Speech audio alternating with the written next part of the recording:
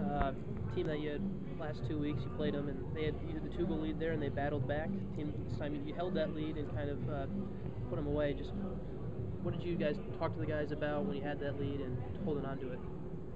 Well, we talked. We talked during the week, and the one thing we talked about is if we have a lead, we got to try to keep going after it, and because uh, if you get the next one, it makes it hard.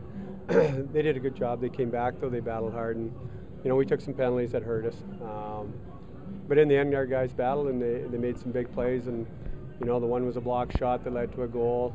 Uh, the last one was a good clear on the wall, and so guys made some good plays to get us goals seems like the game was getting called pretty tight both ways. The power play opportunities you guys obviously capitalized on. Talk about that a little bit? Yeah, I both teams have good power plays. Um, you know, they're they're hard to handle, and um, that's why discipline's so important. But uh, you know, we got a couple early to get us going, and uh, then they got a couple to get them back in the third. So uh, it was going well for both teams. What do you think of uh, Scott Glennie's first night back out there? Oh, that was great to see him back. He, you know, I thought he skated real well. It was good to see him get rewarded on the last one, and uh, I thought overall he had a good game.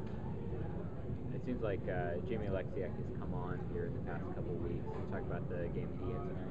Yeah, he was good. That was a big goal for us to get us going. You know, they, they kind of got one, just went through a couple guys, and uh, we needed some dancer back, and uh, it was a great shot on his part. And uh, he's a big body. He moves real well, and uh, he, he makes a big difference when he's on his game.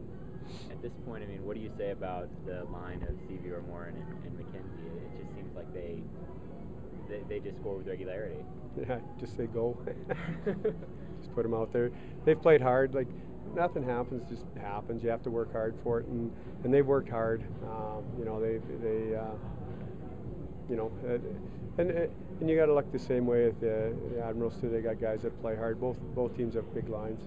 It seems like Travis is taking the body more and, and being more physical, getting into the tough areas, maybe more than he was last year. Is that part of it? Yeah, he's working hard. Like you know, like it, it all comes down to how hard you work, and uh, he battles, and you know, he, they got some big goals for us for sure that line.